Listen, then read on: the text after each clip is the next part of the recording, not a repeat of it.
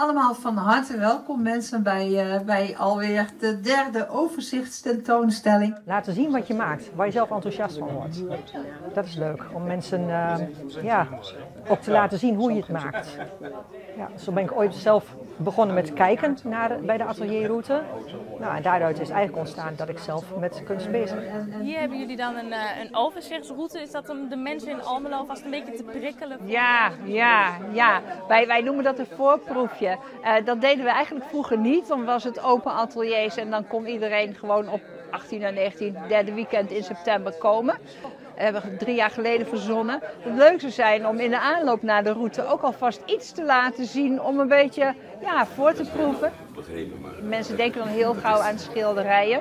Maar wat je ziet is dat er heel veel diverse werkvormen, glas, textiel, uh, hout, ook edelsmeden doen mee. Dus je krijgt echt ook een, een hele selectie te zien van, van wat er allemaal gemaakt wordt in deze stad.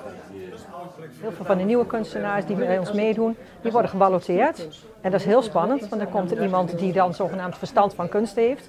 En die komt bij jou kijken of jouw kunst goed genoeg is om mee te kunnen doen. Ja, dat is heel spannend.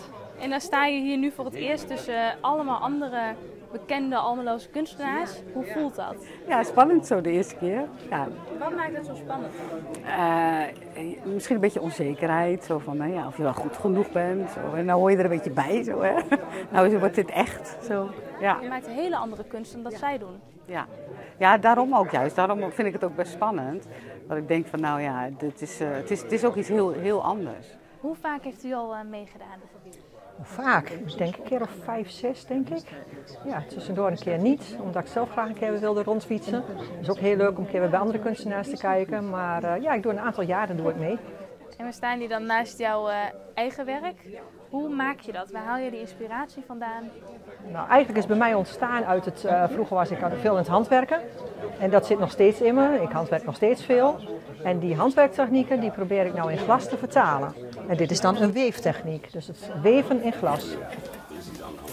De inspiratie kan ik overal vandaan halen, maar meestal is het een, een, een broche of een sieraad. Ik, soms krijg ik van iemand een, sieraad, een ketting van, van 1900, uh, weet ik veel, 53 of zo. En dan heb ik in één keer bedacht, oh, dan kan ik een mooie torso bij. En dan zie ik het in één keer voor me. En uh, ja, dus dat is, het kan heel verschillend zijn. Maar ook mijn sterrenbeelden, die, die verwerk ik in bijna al mijn torso's. Dit is Old Blue, dat is echt een beetje vintage. Ik, wou, ik had eigenlijk het idee van uh, uh, die Delsblauwe tegeltjes, zoiets. En, uh, en dan met mijn sterrenbeelden zijn het sterrenbeelden tegeltjes geworden. ja. En wat verwacht je van de atelierroute dan over twee weken?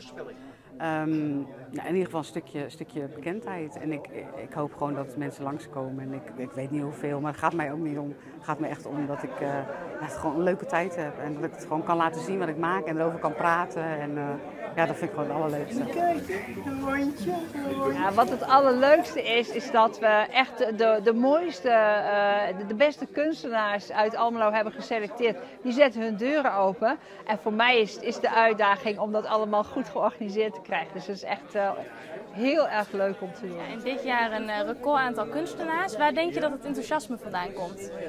Ik weet het eigenlijk niet. Ik denk dat het ook een beetje zwaankleef aan effect is. Als we hebben bijvoorbeeld vorig jaar was het een ondanks COVID een ontzettend succes. Dus overal heel erg druk in de ateliers. En ik denk dat zich dat ook doorspreekt. Dat mensen echt zeggen van joh, je moet meedoen. Doet u dus al een paar jaar mee. Ja. En uh, een aantal andere kunstenaars hier vanavond voor het eerst. Ja. Toch wel lichtelijk gespannen. Ja, snap ik. Wat zijn de tips dan voor de nieuwe kunstenaars? Um, wees jezelf. En geniet van wat je zelf maakt. En wees blij dat je dat aan een ander kunt laten zien. En dan hoor je de reacties van het publiek. En de ene keer is dat positiever dan de andere maar wees vooral in elk geval blij met wat je zelf maakt. Want daar doe je het voor.